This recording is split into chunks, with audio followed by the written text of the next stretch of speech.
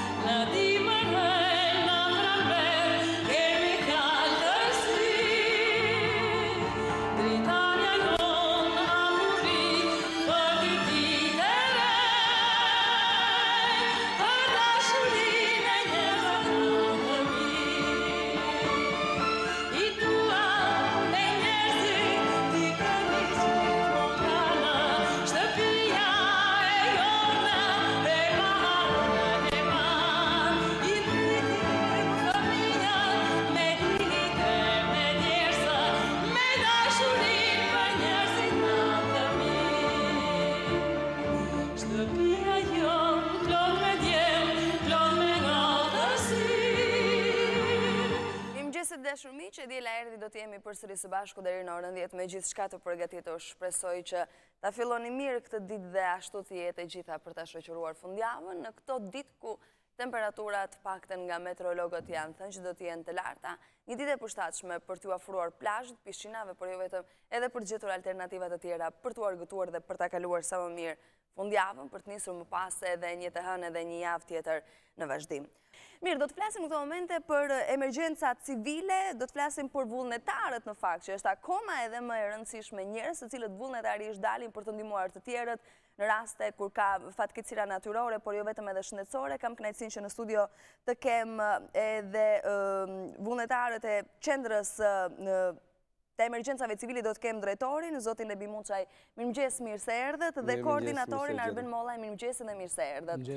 Në radhë të parë ju përgëzoj për këtë iniciativë, këtë nismë e cila ka në mos gaboj dy vjet që është krijuar dhe që ka marrë jetë dhe që kam përshtypjen në Facebook dhe në rrjetet sociale, por jo vetëm jeni ndër më të ndjekurit.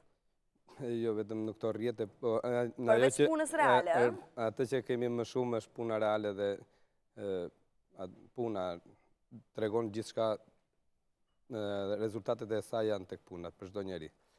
Qendra Vullnetare e Emergjencave Civile ka mbi 2 vjet që po gati 2 vjet që po punon në çdo lloj emergjence, tashmë e konsoliduar, punon 24 orë, 24 orë, shërbejmë në anën shëndetësore në disa zona, më, sivjet, siç ka qenë në sezonin veror në vitin e kaluar dhe në këtë vit kemi filluar që të kemi një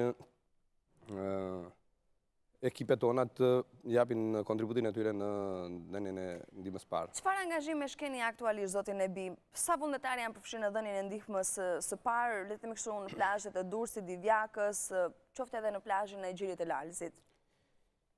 Ne kemi rreth 70 vullnetarë që janë të aktivizuar për këtë pjesën e sezonit turistik vetëm për zonën e plazheve të Durrësit, dhe Divjakës, të cilët operojnë me turne me kohën e tyre që kanë mundësi në dispozicion, për të qenë sa më efikas në këto pika që ne na ka caktuar Ministria e Shëndetësisë dhe Drejtoria e Shëndetit Publik e Durrësit dhe e mhm. Lushnjës, ku vullnetarët tanë shërbejnë njëzet e katër orë me autoambulanca.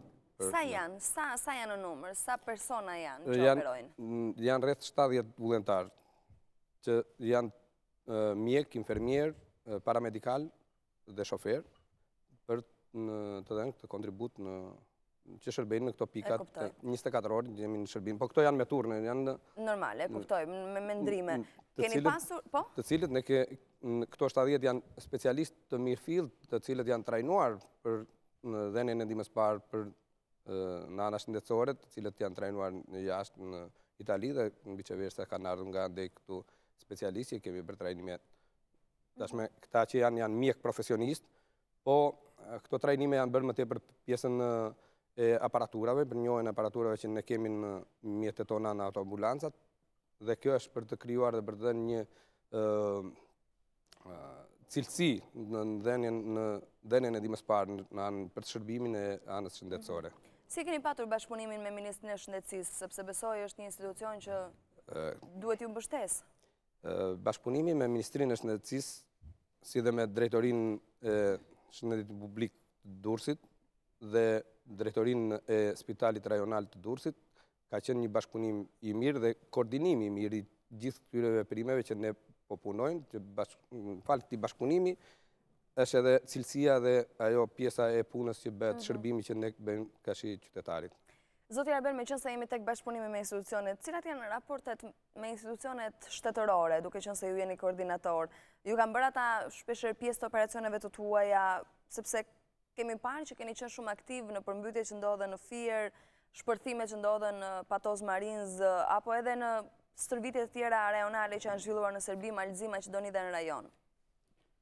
Aktualisht, neve kemi punu në kuadrin e bashkëpunimit me gjitha institucionet e vendit tonë, duke patur parasysh për pjesëmarrjen dhe kontributin me institucionet që kanë forca operacionale, ku pjesa më e madhe janë pjesa ushtarake, policia e shtetit, mjekësia, gjë të cilën ne në mënyrë të vazhdueshme kontaktojmë dhe koordinojmë veprimtaritë që kanë vetë institucionet për t'i mbështetur me pjesëmarrës nga ana jonë. Kryesisht, ne nuk jemi direkt të parët në operacion, por mbështesim të gjitha llojet e operacioneve që këta bëjnë.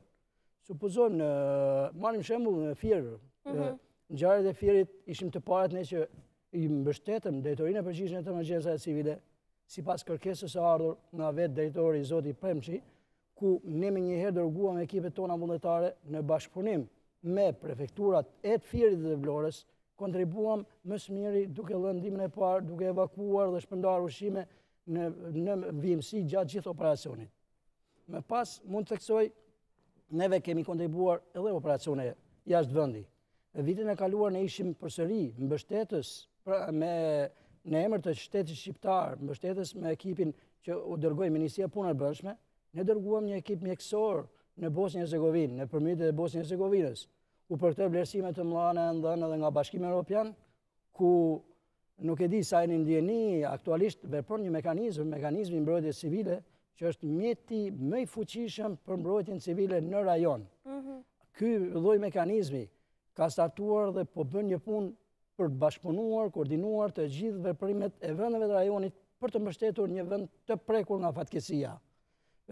Sapo jemi kthyer, kemi 10 ditë që jemi kthyer nga një stërvitje rajonale, ku përsëri me kërkesën e Drejtorisë së Përgjithshme të Emergjencave Civile kemi përfaqësuar me një grup miks, ku kemi qenë ekipi për ndërtim dhe menaxhim kampingu. Mhm. Këtu ne ishim të kompozuar me me ekipe për ndërtim kampingjesh dhe menaxhimin e kampit, dhënien e ndihmës së parë, ku vlen të përmendet puna e palodhur vetë nga drejtori që ishte në krye të operacioneve, njëkohësisht doktorëve Ergys Rabeta, Grej Malo, koordinatori tjetër që është shumë i mirë për mbështetjen logjistike dhe teknike Luan Ajazi, të cilët janë në mënyrë të vazhdueshme shumë të përkushtuar për gjithë llojet operacioneve. Meqenëse juve zoti Arben folët për um, këtë stërvitje rajonale që u zhvillua në Maqedoni, konkretisht çfarë ishte kjo stërvitje dhe cili është roli i qendrës vullnetare të emergjencave civile në në tërësi? Sepse për shembull jugun nuk e dëgjova ta ma përmendnit. Do të jeni dhe në jug fare te plazhet në jug apo akoma s'ka një bashkëpunim? Këto pjesën e plazheve, ne bëjmë atë që kemi mundësi dhe atë që bëjmë, duam ta bëjmë të saktë dhe preçize. Në atë duam të jemi korrekt në shërbim dhe për të qenë atë lloj shërbimi të jetë një shërbim bashkohor, një shërbim i kohës. Që të mos lërë për të dëshiruar. Që të mos lërë për të dëshiruar. Dhe këtë e kemi dhënë me fakte që nga një janari në urgjencën e Durrësit ku ne po operojmë.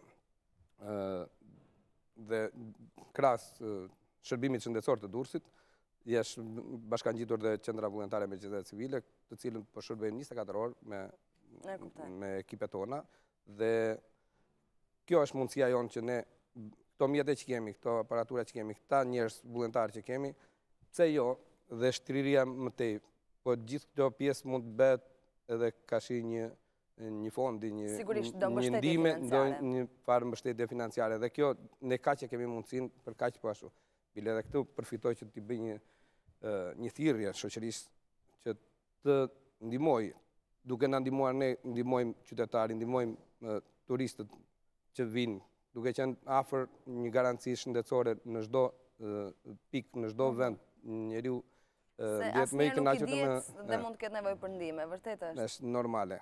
Le të jesh më i pasuri, po nuk të vjen helikopteri në Gjirin e Lalzit ato 10 minuta. E po. Vërtet, janë vullnetarët e emergjencave që të gjenden. Duke qenë aty, duke pasur njerëzit në terren, është shpëtimi është më i shpejt dhe shërbimi është më i mirë dhe më i shpejt. E kuptoj. Dhe jeta është më e sigurt Sigurisht, për të gjithë. I rikthehemi pak çështjes së stërvitjes, diçka konkrete? Po, aktualisht ne që po bëjmë një vit e gjysë, afër dy vjet që jemi angazhuar me këtë qendër, që është krijuar qendra, dhe ne kemi realizuar disa stërvitje të përbashta. Konkretisht, ne filluam vjet me stërvitjen para se të fillonte sezoni veror, mbi mënyrën e dhënies ndihmës parë në bregdet dhe njëkohësisht shpëtimin e njerëzve ku ne siguruam duke u mbështetur nga Drejtoria e Përgjithshme e Emergjencave Civile me skaf ku me grupet tona ne bënim gjithmonë shëtitje në det duke parë patrullim pra në kuptimin patrullimin në det duke parë dhe duke ndihmuar njerëzit që janë në nevojë ku kemi patur mjaft raste vjet në Gjirin e Lalëzit, ku në atë pjesë isha unë përgjegjës i caktuar nga qendra, kemi patur mjaft raste ku ne kemi dhënë ndihmën e parë të shumë personave që kishin nevojë. Më pas ne kemi vijuar stërvitje të tjera, stërvitjet tona vetë për për kualifikimin dhe përgatitjen e ekipeve tona vullnetare. Kryesisht stërvitjet janë fokusuar në llojet e fatkeqësive natyrore. Jam pak xheloz i fije me drejtorin, sepse i jep drejtim më shumë shërbimit mjekësor dhe aktualisht është më përpara shërbimi mjekësor sesa ekipet e tjera për emergjencat. Megjithatë, këto shërbime, ky ekip mjekësor i shërben në mënyrë të vazhdueshme ekipeve të emergjencave civile. Ne bëjmë parapargatitje për stërvitje të llojeve të ndryshme të fatkeqësive për të lehtësuar sa më shumë vuajtjet e njerëzve për të dhënë ndihma, për të shpërndarë, për të ngritur kampingje. Në raste aksidentesh gjendeni, po, jeni të trajnuar edhe për këtë pjesë aksidentesh automobilistike flas. Ka raste vitin e kaluar ne kemi qenë direkt në në situata të tilla.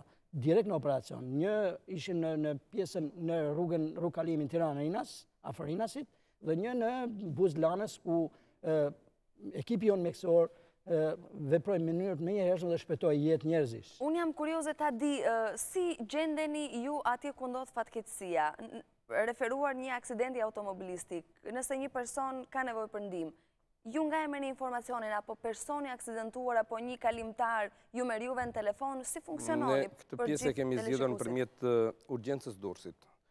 E kuptoj. Ky bashkëpunim, çdo qytetar duhet të marrë në telefon numrin e urgjencës Durrësit, Dhe nga kjo urgjencë nëse flasim për zonën e Durrësit. Po për Tiranën? Për Tiranën janë numra tanë direkt që në marikë... Pra keni numra kontakti për Tiranën? Kemi numra kontakti, mhm. numra tanë, po atë që kemi të përditshme, 24 orë që jemi të përqendruar në qytetin e Durrësit, kontaktet tona dhe urgjenca merret nëpërmjet të urgjencës Durrësit. Pra një kosisht e kuptoj. Duhet të marrin urgjencën e Durrësit dhe përfitoj edhe nga kjo që t'i bëj një thirrje po them për qytetarët se ka shumë raste ne shikojmë që qytetari në vend të marrë në telefon urgjencën vjen aty familjari të marrë ambulancën që të vejë të marrë të afërmin për ta sjellë në spital ose për t'i shërbyer.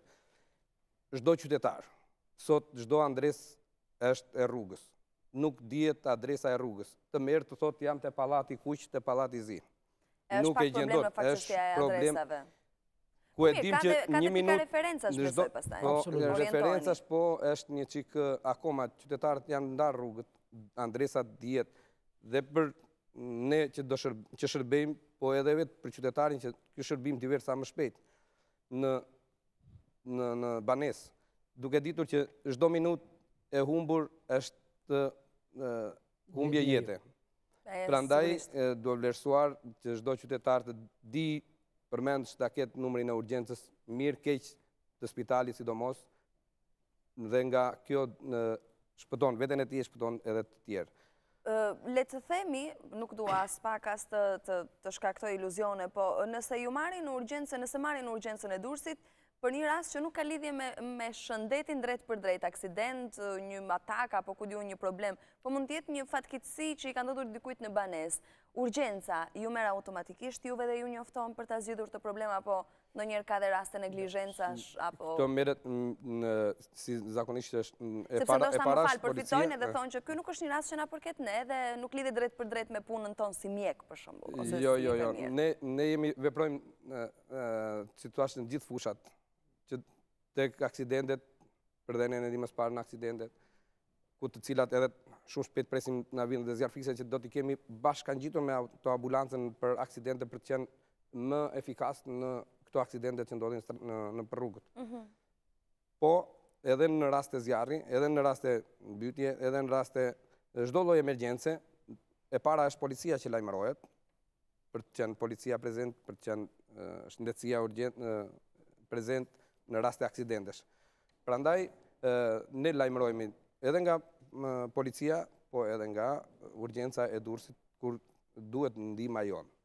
Dhe ne nuk jemi në ata që refuzojmë se E na përket apo s'na përket? Jo juve, e kisha fjalën tek urgjenca, a e merni njoftimin në kohë reale juve ju njofton urgjenca? Reale, ne jemi aty 24 orë. A jeni aty, apo? Ne jemi te telefoni. E kuptova, domethënë, ka dhe një person tjetër aty që kujdeset, domethënë, drejtpërdrejt me këto gjëra. Stafi jonë është 24 orë në urgjencën e Durrësit. E kuptova. Në çdo lloj telefonate, çdo lloj informacioni që është, Vihet në dijeni. Vihet në dijeni dhe të parët po. jemi ne që japim këtë lloj... E kuptoj. Po, zoti Arben. Sa për njohuri, ju bëjmë me dije se në çdo lloj fatkeqësie, që jepet sinjali shkon tek drejtoria e policisë së shtetit, e policia e shtetit, qendra e mm. policisë.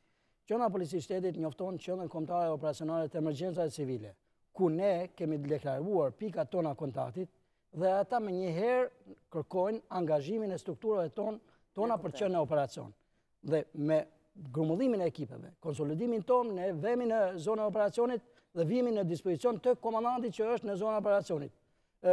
Duke mos harruar zjarrin që ndodhi para ca muajsh në rrugën në autostradën Tiranë-Durrës, që ekipet tona vullnetare shkuan atje dhe morën kontakt me komandantin e operacionit të zjarrfikësve dhe ndihmuan për të dhënë ndihmën e parë personave si që asfiksoheshin nga gazrat dhe gjërat e ndryshme. Zoti Arben, nga informacionet që unë kam mbledhur dhe aq sa unë kam mundur të lexoj, kjo qendër e cila më rezulton e para në Shqipëri e këtij lloji, ka marrë pjesë edhe në misionet ndërkombëtare, jashtë Shqipërisë, cilat kanë qenë disa nga këto misione, nëse mund t'i përmendim edhe ai që ka kulmuar, që ka qenë më i suksesshmi. Atëherë, duke përsëritur edhe një herë respektin dhe falenderimin e drejtorit të përgjithshëm të emergjencave civile. i cili e ka vlerësuar këtë qendër vullnetare, si aset kryesor për të mbështetur gjithë aktivitetin për raste situatave emergjente, neve marrim kërkesën nga drejtoria e emergjencave civile dhe kemi marrë pjesë në ushtrime në tavolinë, parapërgatitore, pra dhe ushtrime fushore. Në ushtrime parapërgatitore, ne kemi qënë pjesë në Serbi, Beograd, kemi qënë pjesë në Sarajevë, kemi qënë pjesë në Maqedoni, kemi qënë pjesë në Kosovë, në pra në vëndet e rajonit. Përveç kësaj, kemi marrë pjesë në dy stërvitje shumë të fuqishme, shumë të mëdha, në nivel rajonal, në kuadrin e programeve të IPA-s, instrumenti i paraaderimit të vëndëve në Bashkimin Europian, ku vendi ynë është tashmë vend kandidat për të hyrë në Bashkimin Europian, dhe kemi, i kanë qenë dy stërvitje shumë të mëdha. Vitin e kaluar ishim në Mal të Zi, ku skenari ishte një tërmet i fuqishëm dhe ne me ekipet tona shkuam atje duke u komozuar ekipi shqiptar, po ne ishim pjesë, qendra vullnetare ishte pjesë e ekipit shqiptar. Mhm. Dhe këtë vit ne kemi marrë pjesë në Maqedoni, përsëri nga një tërmet i fuqishëm, njerëzit kishin nevojë, njerëz të pastrehë dhe u ndërtua një kamping për 250 vetë. Këtu morën pjesë shtetet e rajonit, duke filluar nga Serbia, Sllovenia, Kroacia, Mali i Zi, Austria, Italia, Turqia, Kosova dhe ne. Pra janë disa shtete, janë vëndet e konsorciumit, që mund të themi vëndet që e kanë fituar të drejtën e këtij programi, ku janë vëndet që janë në Bashkimin Europian, dhe vëndet e tjera aderuse për të hyrë në Bashkimin Europian, ku jemi pjesë edhe vendi jonë. Këtu mund të themi që gjatë këtij viti ne morëm vlerësim të jashtëzakonshëm me ekipin tonë, sidomos u shpreh dhe më përpara doktor Grej Malo, duke u bërë ushtrim simulimi, ndodhi aktualisht një atak kardiak për një person. Dhe ky e shpëtoi. A domethënë në kohën që ndodhte... Stërvitja, ndodhi me të vërtetë një atak kardiak. Ne punuam së bashku aty, bënim, kishim dy detyra si qendër vullnetare. vizitat e personave që vinin për t'u regjistruar në kamp, që kishin mhm. nevojë për strehim, dhe spitalin fushor ku ne koordinuam me ekipin italian. Ekipi italian ngriti spitalin fushor dhe zoti Grej ishte në spitalin bashkë me italianët, mm, ku vepruan në mënyrë të jashtëzakonshme. Interesante. Unë kam një pyetje të cilën ndoshta duhet ta kisha bërë që në fillim, po e lashë për të mësuar se çfarë ishte e gjitha kjo punë e mirë, sepse është punë e mirë dhe fisnike, të paktën në këndvështrimin tim. Si e ndërmorët iniciativën, si ju lindi ideja për të ndërtuar një qendër vullnetare të emergjencave civile? Ama më duket pak e vështirë, sepse do financim, do të mbledhësh njerëz, do t'jua mbushësh mëndjen njerëzve që dëgjo se me këtë punë që ne bëjmë, ndihmojmë kaq e kaq njerëz kur kanë nevojë. Dua indicien e parë, cila ka qënë? Indicioni i parë është si çdo emigrant, dhe unë kam qënë një emigrant në Itali prej 23 vjetësh, dhe çdo emigrant mendon jo vetëm për familjen e tij, po më shumë mendon për vendin, për vendlindjen. Sidomos kur është jashtë. Kur është jashtë. Se këtu ndoshta nuk e vlerëson sa ç'duhet. Duke menduar që vendi jonë ka nevojë, ka nevojë për asistencë sociale, ka nevojë për njerëz për të shërbyer, duke parë më para që shëndetësia ishte akoma më keq. Duke punuar vetë dhe duke qenë vullentar prej 15 vjetësh në Itali. E unë do ju pysja në fakt, keni pasur të bëni më përpara edhe me këtë punë? Dhe, po, kam qenë atje në Itali, kam qenë vullentar prej 15 vjetësh dhe vitet e fundit kam qenë koordinator i Croce Verdes dhe tek Protezione Civile në Porto San Elpidio në një qytet, ku falë ndihmës këtyre dy qyteteve Fermo, Porto San Elpidio, Breshja, San Benedetto, të cilat na kanë mbështetur nga ana e logjistikës me pajisje me mjetet të cilat na i kanë dhuruar. Dhe këto mjete e këto pajisje që na i kanë dhuruar, duhet që t'i vinim në punë në vendin tonë, dhe fillimisht kur hapëm këtë pjesë, ishte një vullentar nuk gjen në Shqipëri. Ka qenë një tabu, po realiteti... Oke, unë do vij, po sa lek do marrë? Realiteti është që Këtu kemi shumë vullnetarë dhe çdo ditë shtohet një një shtim i vullnetarëve në mënyrë progresive. Progresive. Që të jemi të ndërgjegjshëm edhe largohen, se janë ato tipat, ato karaktere që mendojnë që duhet të kontribuojnë vetëm në qoftë se marrin një rrogë kundrejt parasë. Ka edhe nga ata. por më shumë ata që ofrohen, sepse janë pak ata që mund të largohen. Dhe shpërblimi më i mirë dhe ata që rrinë dhe që shikojnë që shpërblimi më i mirë dhe nuk është pagesa, por po është buzëqeshja e atij pacienti, atij njeriu që është që vuan dhe t'i japë atë ndihmën, ajo është pagesa më e mirë që ndjen vullentari dhe ajo e bën më të tërhequr dhe më të devotshëm për të dhënë kontributin e tij karshi këtyre njerëzve. Prandaj kemi pasur një rritje dhe pjesa tjetër është trajnimi për këta njerëz, dhënia e ndihmës së parë për këta dhe një njeri që ndihet që po jep një ndihmë Dikujt që është në nevojë, është... është gëzim i madhë, besoj. Cilat kanë qenë vështirësitë e para me të cilat u përballët, zoti Nebi? Se kam përshtypjen që vështirësi ka ndoshta tek gjetja e forcës njerëzore, tek gjetja e mbështetjes tek institucionet, tek gjetja ndoshta e një ambienti për t'u takuar me njerëzit për t'ua mbushur mendjen që dëgjoni se kjo që ne po bëjmë, jo çdo gjë bëhet kundrejt parasë. Është e vërtetë, vështirësi kemi pasur edhe ndihma kemi pasur nga edhe nga autoritetet, po siç kemi pasur edhe njerëz nga autoritetet që na kanë, kanë munduar të na ndihmojnë mhm. për të hapur hapësirat, edhe pse legjislacioni shqiptar nuk e parashikon që shoqëria civile të bëjë një lloj shërbimi të tillë, kemi pasur dhe nga këta skeptikët Që të gjithë se s'do ia dilni, po, do t'ju japim, ç'keni nuk është problem, po sa përfitojmë, flasim prapë tek ajo. Domethënë të gjithë dalin në fund te përfitimi personal dhe vetjak. Çfarë, çfarë përfitojmë? Edhe diku me njërin, për po e them kështu si, mbi thashë, zotëri, nuk e ke kuptuar akoma se çfarë shërbimi do të bëhet. Ne jemi këtu për të dhënë një asistencë sociale njerëzve që kanë nevojë. Në qoftë se ka ndihma, nuk i kemi ndihmat për ju që jeni zyrtarë, po i kemi për njerëzit që do jenë që kanë nevojë. Për ai që nuk ka një punë, për atë që nuk ka shtëpi, për atë që nuk që është i sëmurë, për ata që janë sëmurë me sëmundje determinuar.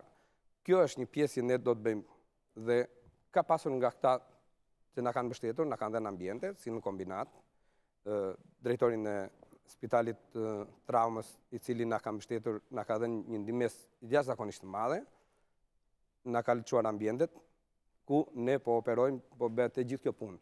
Falë këtij kontributi dhe kësaj ndihme që po na jepet. Ka pasur dhe firma të ndryshme të cilat na kanë mbështetur me karburant që është një nga pjesët kryesore. Më kryesorja. është kryesorja. Institucionet na kanë mbështetur që na kanë krijuar këto hapësira që ne të operojmë dhe të jemi efikasë dhe të ndihemi pjesë mhm. e shërbimit qytetarit. Kemi ndihmat që na vijnë nga andej për t'i vënë në punë, nga jashtë, bashkë falë bashkëpunimit të këtyre partnerëve, që kemi nga nga Italia dhe në atë që synimi jonë që të kemi sa më tepër partnerë edhe në vende të tjera mhm. dhe këto bashkëpunime këto kontrata këto marrëveshje që po bëjmë me në, në shtetet e rajonit me shoqërinë civile që janë në, në rajon duke qenë një grup sa më efikas për çdo lloj emergjence. Mirë, do ndalemi edhe pak, jemi detyruar të shkojmë shumë shkurt në publicitet, kthehemi përsëri për të folur dhe pak minuta sa i takon kësaj nisme vërtet shumë të rëndësishme dhe që ndonjëherë duam apo nuk duam ne do përplasemi, është e domosdoshme. Do të jemi edhe disa minuta së bashku për të mësuar ndoshta edhe disa nga projektet e ardhshme më të fundit të qendrës vullnetare të emergjencave civile. Keni pasur dhe një rast? E thonë mm. burimet e mia të informacionit dhe jeni gjendur juve, çfarë ka ndodhur mbrëm? Fatkeqësisht mbrëm në ora 2 e natës, ka qenë një aksident në mbikalimin e Durrësit, ku ka qenë me humbje jete të drejtuesit të, të makinës. Kjo është një pjesë që qendra vullnetare ka qenë pjesë e kësaj, duke hyrë në kohë reale duke qenë mm, urgjent në atë mhm. vend, për një kohë shumë të shkurtër, po ka raste që ndodh edhe kështu, me keqardhje, por atë që ne synojmë që urgjenca të mos kalojë më shumë se 7 minuta në vendngjarje. Dhe ne jemi realiteti i kësaj. Ne po e bëjmë realitet këtë gjë që brenda 7 minutave të jemi në vendngjarje. 7 minutëshi është ajo që njeriun e kthejmë prapë në gjendjen e mëparshme. Çdo minutë e më vonshme pastaj është më kritike. Juve ishit në të njëjtën kohë me policinë, apo u gjendën rastësisht dhe vullnetarët tuaj? Njëkohësisht me policinë. Sapo merret njoftimi në urgjencën e Durrësit, këtë që e bën policia në këto raste, ose qytetari thjesht, po zakonisht në këtë të mbrëmshme Me sa di, ka qenë policia që ka lajmëruar urgjencën dhe në momentin që lajmërohet ndërhyn urgjenca jonë. Zoti Nebi, unë jam kurioze të di, sa është numri i vullnetarëve të angazhuar në qendrën tuaj, cila është mosha, gjinia, janë më shumë vajza, djem të rinj, gjithashtu profesionet që ata kryejnë të vullnetarëve, janë të profilizuar, një pjesë do t'jenë vetëm për këtë lloj emergjence, një pjesë tjetër për këtë lloj emergjence?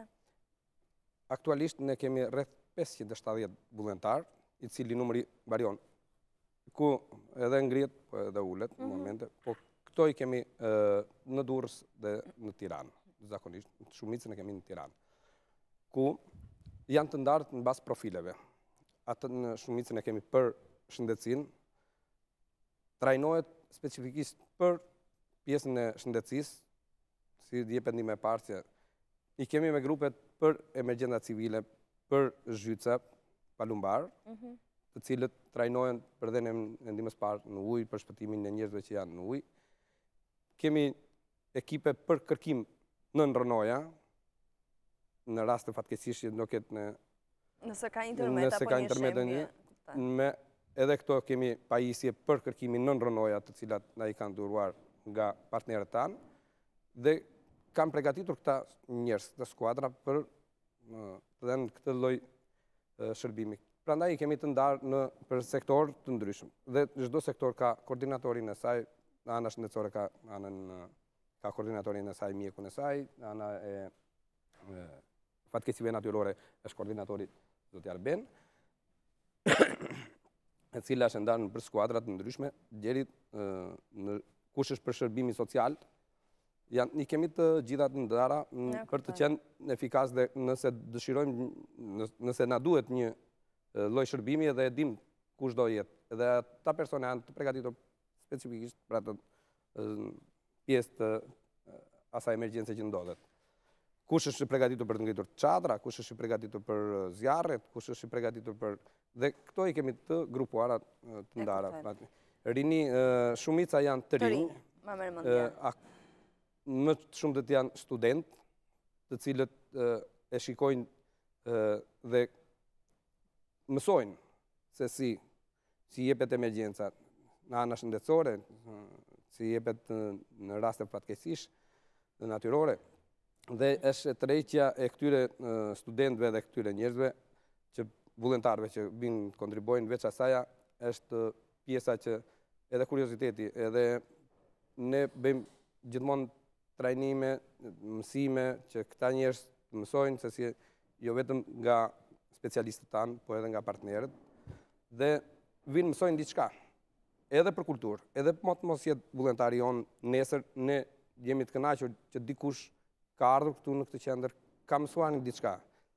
Atë diçka që ka mësuar, ndoshta nesër do t'i qëllojë në rrugë për të dhënë kontributin e tija.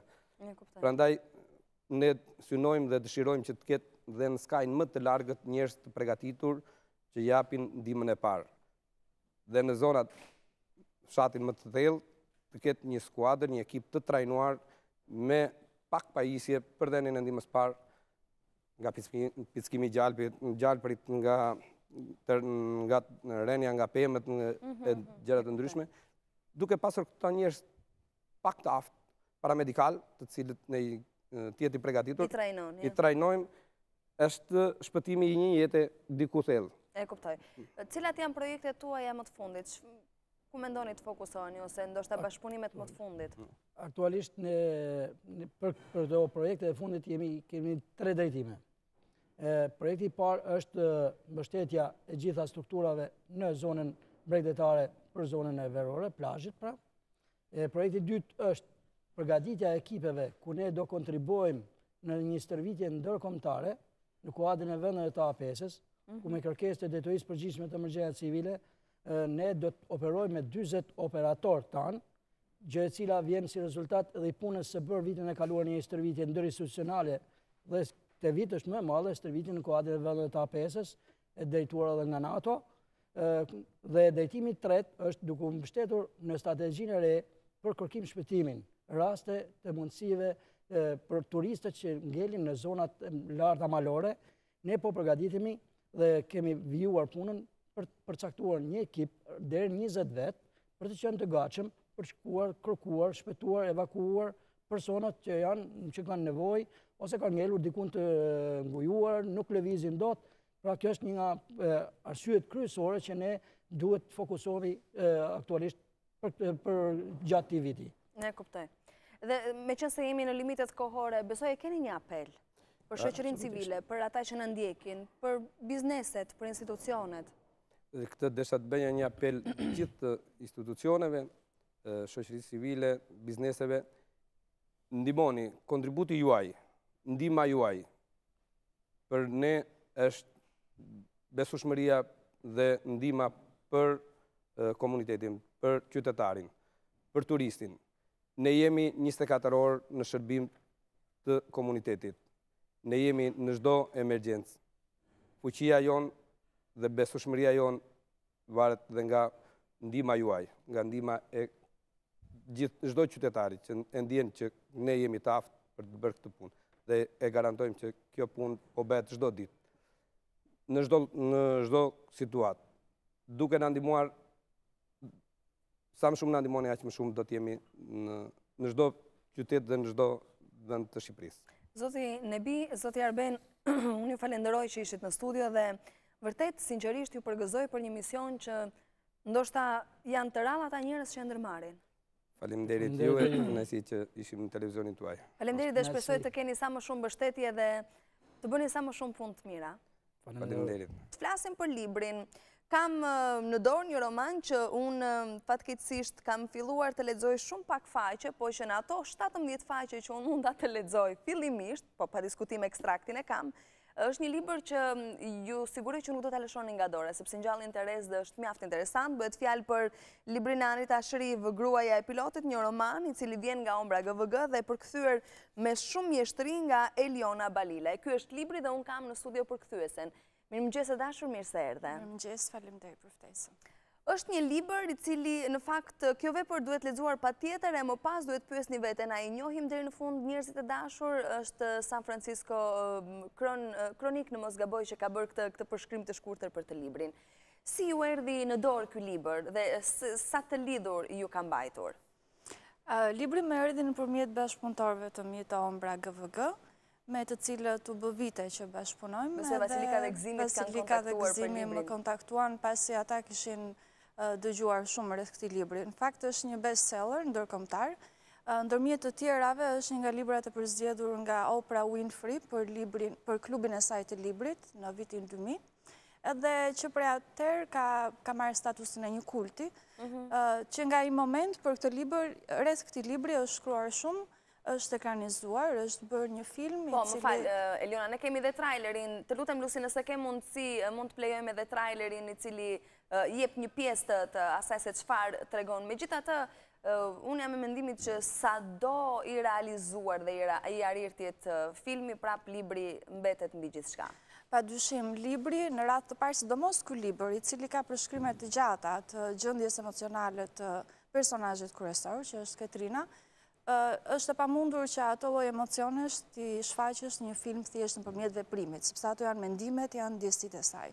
Kështu që libri, unë personalisht mendoj që në shumicën e kohës libri është shumë më i bukur se sa filmi, në veçantinë e vet, në përshkrimet e veta.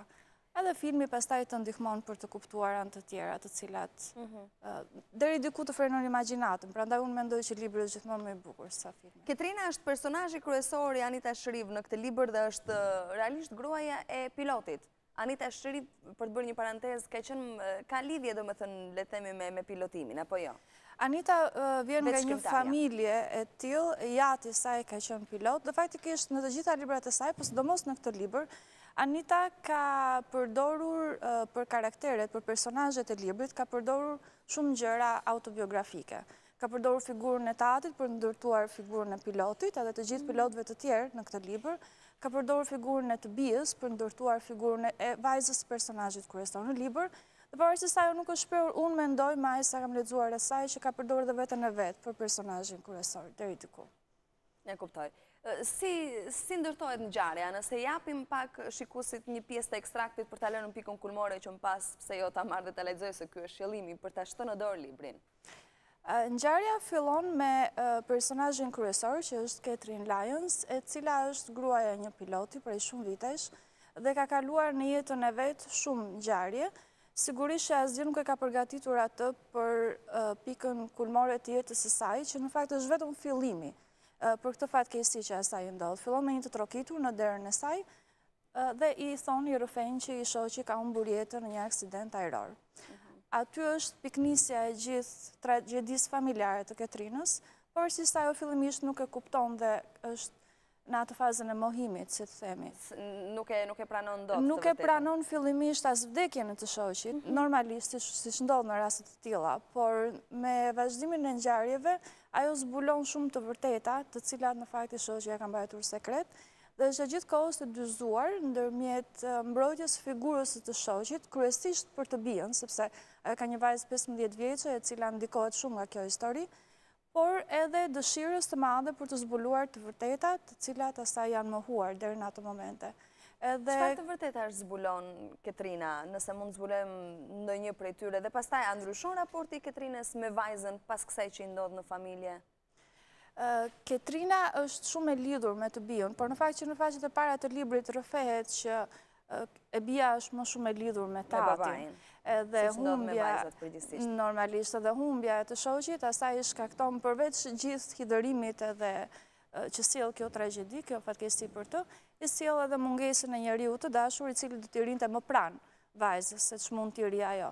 Gjatë faqeve të para të librit, neve kuptojmë që Ketrina në fakt nuk e njeh aq shumë të bijën, sa pretendonte, Dhe, sigurisht nuk e njeh aq shumë të shoqin, sa pretendonte. Me kalimin e kohës, për shkak se asaj kompania ajrore i rri shumë afër, dhe i dërgon një person që të jetë pranë saj gjatë gjithë kohës, ajo fillon të dyshojë se ka diçka që nuk shkon në këtë histori. Dhe në raste të tilla, sepse i shoqi nuk është se thjesht ka vdekur, ai ka marrë me vete 103 jetë të tjera. Dhe normalisht fillon një hetim, i cili zbulon shumë të vërteta që Ketrina nuk i dinte. Ajo merr vesh që në avionin që pilotonte i shoqi, ishte vendosur një bombë, dhe të gjithë ia hedhin fajin pilotit. Të gjithë mendojnë se piloti ka kryer vetëvrasje. Duke menduar se njihte mirë të shoqin, Ketrina nuk arrin ta pranojë një gjë të tillë dhe i vihet mundimeve për të zbuluar të vërtetën. Paralelisht me këto, ne kemi gjendjen shpirtërore të Ketrinës, e cila kalon shumë, dhe në fakt ne aty shikojmë karakterin e saj sa të fortë aq edhe të dobët dhe forcën e gruas për të përballuar gjëra të tilla. Të vij tek pyetja jote, Ketrina zbulon dhe do ta përmbledh shumë shkurt që të mos ju heqim kureshtjen lexuesve. Unë mezi po pres ta dëgjoj. Zbulon që i shoqi i cili në fakt ishte i dyzduar në punën e tij, sepse ai bënte një linjë Boston, Londër. Londër, po. Dhe jeta e tij ishte gjysma në Amerikë dhe gjysma në kontinentin tjetër në Europë. Kishte ndërtuar një familje tjetër në Londër? Në Londër ai kishte ndërtuar një familje të re. Dhe ajo që Ketrina përpiqet të kuptojë gjatë gjithë kohës është pse i shoqi e kishte bërë një veprim të tillë dhe si kishte mundësi që kishte kaq vite që ai kishte bërë një gjë të tillë dhe ajo nuk kishte dyshuar për asnjë gjë. Dhe që unë dyshoj që bashkëshorti i Ketrinës në fund të librit mos më thuaj që del që nuk nuk është vrarë. Bashkëshorti i Ketrinës ka vdekur, së bashku me njëqind e tre personat e tjerë që ishin në bordin e avionit. Por, kjo që unë sapo rrëfeva është vetëm linja kryesore e romanit. Ka dhe disa linja të tjera që ndërthuren shumë bukur, pikërisht për të nxjerrë karakterin e këtij personazhi të Xhekut. Ai ishte mhm. përfshirë në disa aktivitete të paligjshme, të themi, nuk do t'i zbuloj, por kanë të bëjnë me luftën civile të Irlandës dhe disa ngjarje të tjera të ngjashme. E në fakt, mjafton vetëm kaq të dashur miq që besoj ju bën që të të shkoni ta merrni këtë libër, një botim i Ombra GVG, Gruaja e pilotit nga Anita Shriv dhe me një përkthim shumë të mirë të Eliona Balilaj, një libër i cili është në çmimet normale të të blerit një libër që besoj do të mund ta përpini të gjithin, sepse momenti ku Eliona e la rrëfimin se çfarë ndodhte brenda, jam e sigurt që ju ka tërhequr. Për të folur pak për, për punët e tjera, Eliona, çfarë ke nëpër duar pas përfundimit me sukses të përkthimit të këtij, të këtij libri? Ke ndonjë projekt tjetër sa i takon librave? Po, por nuk jam ende, nuk jemi ende në fazën për t'i zbuluar, mhm. por unë mund të flas pak për projektet përpara këtij libri. Po, patjetër. Përsëri në bashkëpunim me Ombra GVG, prej shumë vitesh, kam përkthyer disa libra. Bashkëpunimi i parë edhe shumë i bukur, ka qenë me librin e Xhim Belushit, që besoj mund ta keni dëgjuar, pasi ai e ka promovuar edhe vetë, burrat e vërtetë nuk thonë kurrë më fal. Shumë ndryshe nga ky libër, i cili është një roman, ai është një rrëfim komik deri diku në lidhje me jetën e tij si aktor, si burrë, si burrë me origjinë shqiptare. Pastaj kam pasur bashkëpunime të tjera, ku përfshihen disa enciklopedi dhe disa libra tekste për universitete të ndryshme, gjithmonë me Ombra GVG. Mhm. Se po më tërhiqte në fakt edhe vëmendjen traileri që është bërë bazuar në këtë roman, pra gruaja e pilotit. Eliona, juve jeni e lidhur ngushtë me librin, lexoni vetë, kaloni shumë libra nëpër duar, në gjuhët origjinale ose edhe të autorëve shqiptarë. Si shoqëri shqiptare, sa lexojmë ne? Në aq sa ke mundur të kuptosh dhe nga perceptimi që ke mundur të nxjerrësh? Unë mendoj që fatkeqësisht kohët e fundit, jo vetëm shoqëria shqiptare, po gjithandej lexohet shumë më pak seç lexohej më përpara. Po flas për letërsi artistike. Ne mhm. lexojmë dhe konsumojmë më shumë për sa i përket lajmeve, për sa i përket rrëfimeve të ndryshme. Sigurisht që interneti bën punën e vet, por librat artistikë janë lënë pak mënjanë, edhe mua më vjen shumë keq për këtë. Por më tepër në Shqipëri, libri mendoj që nuk lexohet aq sa duhet.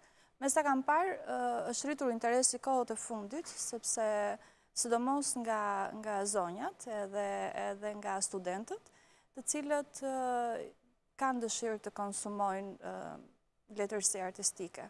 Nuk po flas për pjesën e letërsisë e cila mund t'u shërbejë studentëve po themi për studimet e tyre, apo për libra shkencorë, apo libra historikë. Unë po flas për librat artistikë. Pse mendoni se ka rënë interesi për letërsi artistike? Ndoshta fuqia blerëse, është e pamundur për ta blerë një libër, megjithëse ka edhe është biblioteka kombëtare, e cila kam përshtypjen herë pas here pasurohet edhe me tituj të rinj, ndoshta për shembull gruaja e pilotit që ka vetëm pak që ka dalë mund të mos jetë në bibliotekën kombëtare, por në një të ardhme të afërt edhe mund ta disponojë.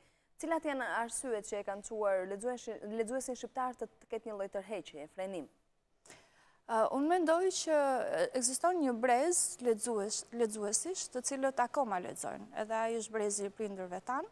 të cilët kanë lexuar gjithmonë. Ekziston brezi i ri, i cili për shkak të mendoj unë për faj të prindërve, nuk është aq i lidhur me letërsinë që në fëmijëri. Dhe kjo jo në 100% për faj për mungesë të dëshirës, po siç thashë interneti, lojërat elektronike prishin shumë punë në formimin e fëmijëve që në vegjëli.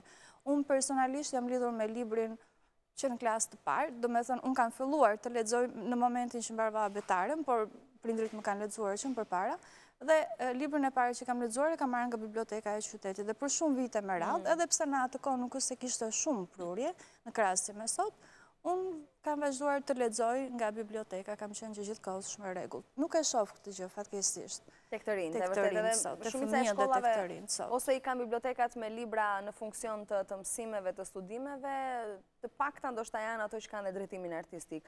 Po raporti ndërmjet botimeve të autorëve shqiptarë dhe të autorëve të huaj, si e shikoni, sepse duket sikur ka një prurje të madhe, autorë të huaj, bestseller, ndërkombëtarë, autorë amerikanë, anglezë, turq së fundi, apo edhe nga lindja, si e shikoni këtë raport me autorët shqiptarë? me përzgjedhjet që bëhen? Unë mendoj që ka mjaftushëm edhe autorë shqiptarë të cilët botojnë ditët e sotme, por sigurisht botimi në vetvete ka vështirësi, dhe është ndoshta më e thjeshtë për të servirur një libër i cili është bestseller ndërkombëtar, apo që të paktën dihet që është pëlqyer diku, të servirësh një nobelist e të tjera, sesa të promovosh një autor shqiptar, qoftë edhe të njohur, me gjithë vështirësitë që sjell botimi i librit edhe promovimi i shkrimtarëve. Pra, një botues, për shembull, le të themi, Vasilika, duke qenë se Vasilikën e kemi mikeshë, ka më kollaj të shesë Gruan e pilotit, sesa, nuk e di unë, romanin e rësirat e e telinës, fjala vjen. edhe pse mund të jetë shumë i afirmuar si autor shqiptar. Kjo është për shkak të shitjeve, për shkak të blerjes që bëjnë lexuesit? Është fuqia blerëse ajo që dikton deri diku edhe trendin e këtij lloj tregu. Fatkeqësisht mendoj, unë personalisht mendoj që në shumicën e rasteve kjo është arsyeja. Është më mirë sipas jush për të lexuar një libër të printuar apo Variantet që ofrojnë internet, nëpërmjet internetit, si qarkullojnë? Zëra domethënë në në... Mjafton të shikoni sa i bukur ka dalë ky botim nga Ombra GVG, por edhe gjithë librat e tjerë që unë kam parë në treg dhe mendoj që nuk ka fare krahasim me një libër të lexuar në internet apo në mënyrë elektronike. Po sigurisht, interneti është pak më i shpejtë, është në shumicën e rasteve më i lirë, sepse ndikon edhe ajo, Dhe njerëzit, por në përgjithësi njerëzit kanë hequr dorë nga të blerit e librave, deri diku. Unë do t'i inkurajoja shumë që të blenin pak më shumë dhe të lexonin pak më shumë, sepse është kënaqësi e veçantë. Ta prekësh librin... Patjetër. Më thatë që keni disa projekte të cilat nuk zbulohen nga ana juaj.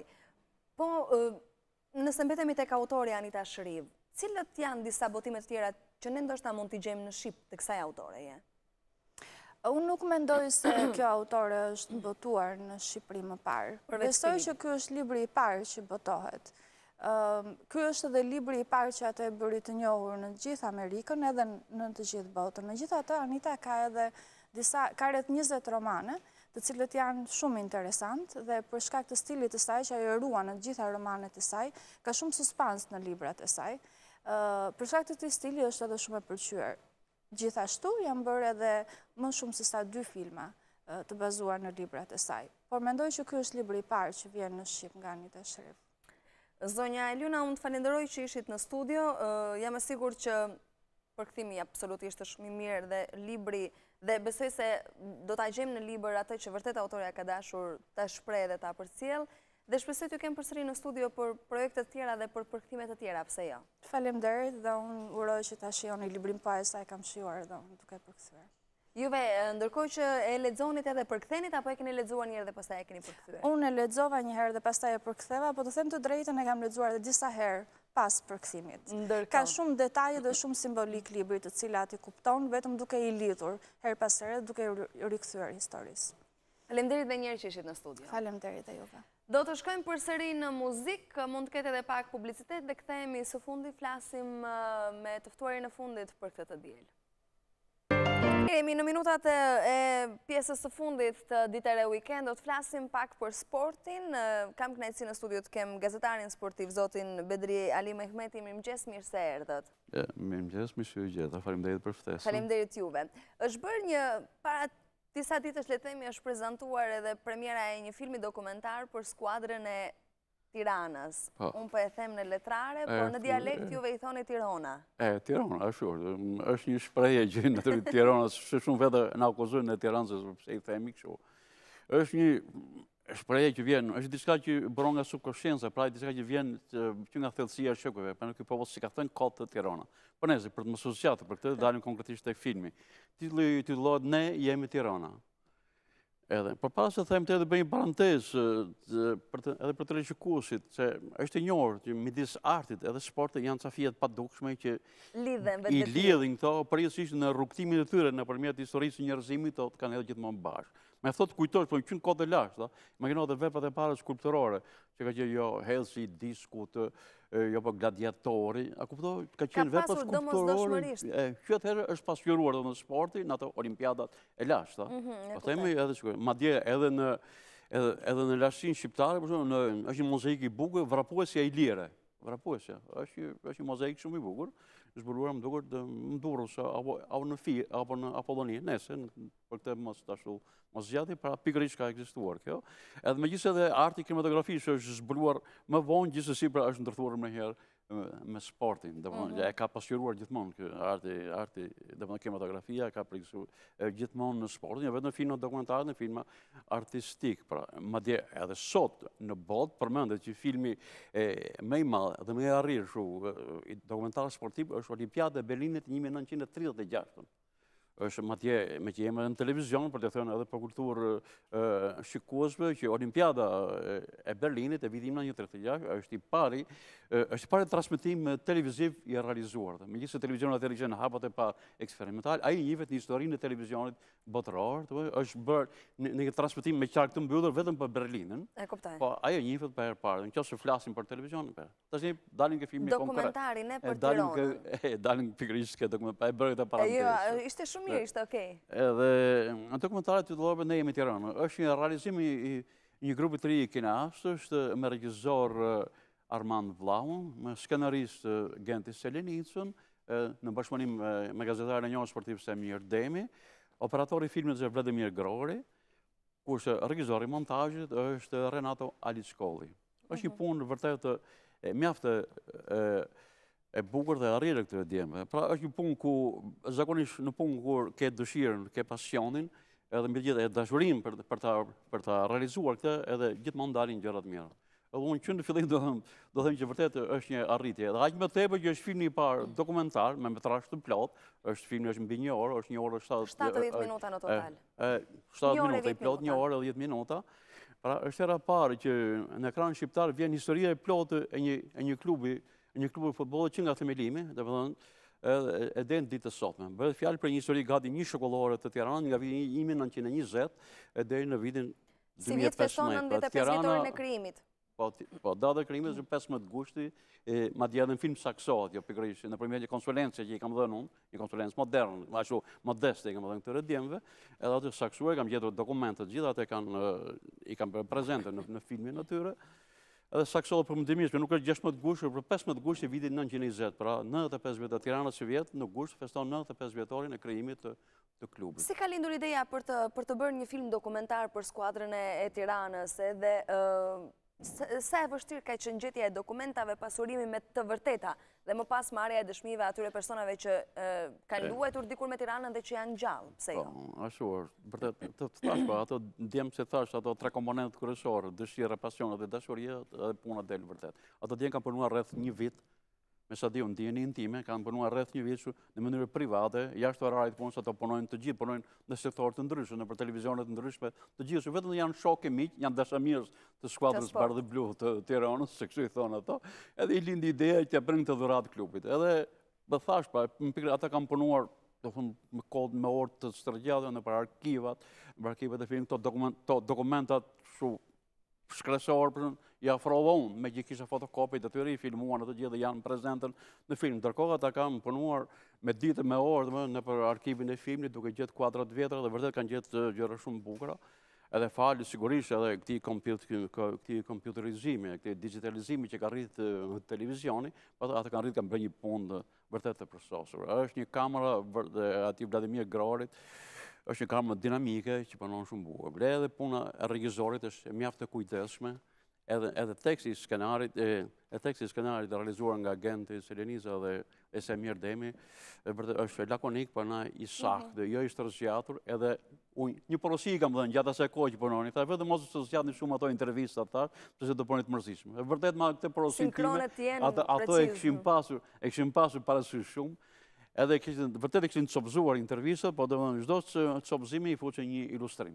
Sigurisht. Edhe kishin bërë gjëra më... Filmi pra në në gjithë tërësinë e tij është i ndarë në disa episode. Edhe këto janë ato që i rrisin vlerat i rrisin vlerat e filmit. Jo mhm. vetëm që fillojnë që nga data e themelimit të filmit, që është vetë dhe një episod i veçantë, pastaj dalin ke arkitekti i ndërtimit dhe i ngritjes së këtij klubi në standarde të nivelit modern, pra, ishte Selman Stërmasi, një nga, ai që e ngriti klubin, pra, në me rregullore, me gjithë gjërat ndërtoi, Pastaj vijnë momente të tjera kulmore të këtyre që është skuadra më e suksesshme në në historinë e topkëmbës shqiptare, ka realizuar ka ka 24 tituj kampionë plus kupa edhe Superkupa Shqipërisë që rrin arrin në 49 trofe. Domethënë një klub që të jetë i pasur. Megjithëse nëse i referohemi kampionatit të sivjetshëm, ju si tifoz besoj i Tiranës jeni. Po, sigurisht, natyrisht, dashuria ime e parë, se e tha dje, dhe e tha dje, miku im ishte, ishte Zoti Basha, ishte këtu i tha edhe dhe Gerti nga Smonti, i tha dashuria, jo dashuria sportive, i tha. E, vërtet, si, si e shikoni kampionatin e sivjetshëm që përfundoi, pozicionimin e Tiranës, skuadrës së Tiranës?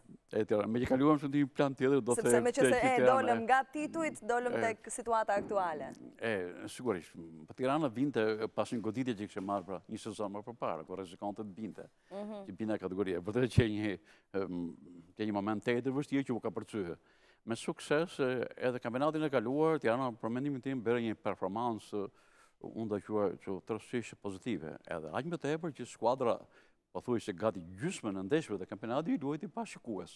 Kjo është një gjë unikale. Mhm. Mbase në ato, në ato se unë për shembull vazhdimisht e kam atë historikun e plotë të klubit Tirana, që e pasuroj që çdo ditë, po, po ende nuk, nuk po më mbushet mendja që ta botoj. Ta bësh një libër. E, jo, librin e kam gati, e kam aty në, në, në laptopin tim, edhe në USB, e kam gati të përfunduar, po them mbase, kur bëhet 100 vjetori, mbase ishalla jemi shëndoshë, mbase do të jetë do të jetë gjë më e bukur. Nejse, për të mos u zgjatur edhe pikërisht kjo, domethënë që ishte vërtet një rast unikal që një skuadër pra të luaj të luaj gjysmën e ndeshjeve pa shikues. U ndëshkua pra për të mos u zgjatur këtë arsye mbase edhe me të padrejtë. Po, po në përgjithësi tash unë shoh që që Edhe vendi i katër që zuri për mendimin tim ishte një arritje, vërtet se një vit më përpara rrezikonte të binte nga kategoria. Kurse tani në vendin e katër, një ngritje galopante. E, pa, po, pra, po, një ngjitje e mirë ishte, edhe të thashë, pra, vetëm që qenë disa marrëveshje të kështu nën rrogoz që bënë midis ekipeve të tjera që Tirana mbeti edhe pa Evropë. Pa, po, pa, po, nejse gjithsesi nuk po zgjatem, se s'është objekt i bisedës tonë. Kurse, do kthehem prapë ke filmi, do thoja, ka filmi, ka momentet të kulmore të këtyre, të këtyre arritjeve të, të Tiranës, që ata i kanë realizuar me shumë sukses. Për shembull, aty, unë do të do sjell në kujtesën e teleshikuesve atë trofeun e parë që Tirana ka fituar mas luftës, mas mhm. luftës, mm -hmm. titujt e parë ishin fituar në, në vitet 30. Ka qenë në vitin 63, Tirana fiton Kupën e Shqipërisë, ka qenë një finale dramatike dhe historike luajtur në Luajtur më shtatë prill gjashtëdhjetë e treshit në fushën e Kavajës. Aty Ali Mema, fëllë mjeshtër i madhë, pra, i Tiranës, ai ka qenë heroi i atij takimi, se në fund fare u dëmtuan dy portierët e Tiranës edhe zuri vend në portë, edhe fati i kupës u vendos me gjuajtjen e penaltive. Edhe këtë moment ata djemtë i kishin gjetë kuadrot që ekzistojnë në Kinostudio, edhe nëpërmjet kujtimeve të vetë protagonistit Ali Mema, E kishin një moment vërtet shumë interesant. Po kështu kishte dhe një moment tjetër interesant që ishte dhe shumë prekës, ishte edhe për mendimin tim më i arriri, ishte momenti i këpuctarit të klubit Tirana, Met Hyka. Mhm. Një usta këpuctar, se në atë kohë nuk është që tani janë këto këpucë moderne që futbollisti shkon t'i blejë këtu, atëherë bëheshin me taka, çaheshin këpucët, ku të riparojë dhe ku të bëjnë. Ky Meti ishte mjeshtër i këtyre. Po, po aty ka një moment, në film është jashtë Jashtëzakon, pse e pysin ata i makinaj, është burrë, është shtatëdhjetë e sa vjeç. Edhe sot e pysin për shembull sa ka qenë, sa e kishte numrin e këpucës Skënder Halili, 24, menjëherë, Niko Xhaçka 21, Fatmir Frashëri, 23, Ali Mema, 22, që i përmend gjithë, gjithë, e deri në ditë të sotme. Dhe këto janë të bukura në fakt. Po, pastaj ishte, Më kulmi qe momenti, ai sillte ndër mend Arben Mingën, të paharruar Arben Mingën që është ndarë nga jeta para në vitin 2007. E sillte Arben Mingën edhe thoshte edhe këtu, domethënë, ai regjisori në bashkëpunim me skenaristin, kanë realizuar, kishin improvizuar një skenë, edhe që Arbeni kishte ardhë ishte ndarë te shpia e Metit. Meti ka një shpi në rrugën, në në rrugën e Kavajës, aty ka një një shpi të thjeshtë tiranase, aty jeton dhe Arbeni kur erdhi herën e fundit, erdhi nga Kanadaja, se jetonte në Kanada, ishte i sëmurë, e ndjente që ishte, ishte udhëtimi i fundit që bëri vetëm t'u, u erdhi u nda me gjithë, edhe me mua, më takoi personalisht të gjithë, megjithëse unë më vonë, masi, masi u nda nga jeta ai, i kam kushtuar një, një, një libër biografik, mhm. komplet, mm -hmm. Gjiganti Arben Minga, kam botuar para në vitin 2009, dy vjet masi u nda nga jeta. E, nejse, pra ata kishin improvizuar atë skenën në të, kishin gjithë, domethënë, nëpërmjet një njeriu që Vetëm që si hije ngjante me Arben Mingën, që për herë të fundit e përcolli deri ke porta, Meti thoshte, ky këpucari i thoshte ti qëndro, se ti je i fortë, ai thoshte jo është hera e fundit që shifemi. E ishte vërtet prekëse, madje unë edhe, edhe tani, kur jua them juve, vërtet që më, më rrënqethet mhm. trupi, ishte vërtet një, një, një arritje që kishin ata në film, kishte të tjera shumë të bukura, për shembull, ishte, Ishin ato për po krosimet e Millan Baçit. Millan Baçi ka qenë një, krosimet e atij ishin përpikë milimetrike, për shembull, ku ta donte, edhe ato e kishte improvizuar, po prapë bukur. Kishte, ca ca momente tjera ishte për shoferin. Tirana ka pas një autobus, madje fotografinë e atij autobusi shkatarraq ia gjeta unë atyre djemve dhe filmuan atë, ka qenë një ato autobusët Që i bënte Shkodra, ti je e re, mase s'i man mend, ka pas prodhuar një uzinë atje në Shkodër, edhe atë autobus kishte Tirana, shta për në ndojnë atë kohë, edhe pra ka pas një shofer, ai nuk jeton më, u nda shpejt nga jeta, Fiqiri Xhabafte, ka qenë njeri i palodhur, punëtor por njeri aq gazmor, për shembull edhe atë kishin kriju një moment shumë bukur. Po kështu edhe për guzhinieren e klubit, ka qenë një Ganimet Deve. Sepse këta janë pjesa që nuk duken në fakt, edhe këta kanë po, po, pjesën e tyre, peshën e tyre po, në klub. Po pikërisht, po këta janë meritat e filmit. Prandaj thashë unë te shkrimi për këta, për këto çuna, jo vetëm se historinë e Tiranës, për shembull, unë e dija përmendsh, po gjithsesi ato më emocionuan dhe më, kishin bë një punë, pra, Shumë të lavdrueshme për mendimin tim, bravo i qoftë, e them 100 herë. Si u prit filmi? Si u prit edhe nga edhe nga ata që ishin familjarë të personazheve kryesorë kur shikonin kur dëgjonin kujtimet? U prit vërtet, u prit me shumë emocion. Në premierë u dha në kinema Millennium, ishte një realizuar shumë bukur, falë kujdesit që kishin treguar ata ish presidenti i Tiranës Lutfi Nuri, bashkë me Julian Morinën, edhe presidenti aktual i Tiranës Refik Halili, bashkë edhe Bashkia Tiranë, ishte aty Një ceremoni mjaft e thjeshtë, po e bukur, kuptimplote me një koktej, aty gjithë u takuan brezat e futbollistëve, bashkë me me sportdashësit, kishte njerëz që përloteshin, që ishte vërtet një një arritje. Po, më bravo qoftë të redjemi, që mos qoftë e fundit, e thashë kjo punë për ju, se se kemi se ky është urimi që bëhet gjithmonë krijuesve. Cilat janë projektet që juve keni nëpër duar, përveç shkrimeve që herë pas here i pasyroni në të përditshmet shqiptare, keni ndërmend për të bërë një, për të botuar një libër ndoshta megjithëse thatë që e keni akoma në USB në kompjuterin tuaj dhe jeni... E, këtë jo, këtë, këtë do ta lë ende, kjo e, unë kam këtë vit, kam dhe 70 vjetorin e lindjes time, e kam tetor. Po s'po ju uroj që tani megjithëse uroj që vitet t'i keni të gjata e me shëndet. Faleminderit. E, po në projekt në zërë, Unë faktikisht i kam mbaruar, nja katër libre kam mbaruar, se kur je në pension ke, ke dhe kohë. Me thënë që herë pas herë ulem në laptop, i hap, domethënë, i hedh, i ritokoj, domethënë, heq gjëra, ose shtoj diçka, dhe heq gjëra që janë ashtu.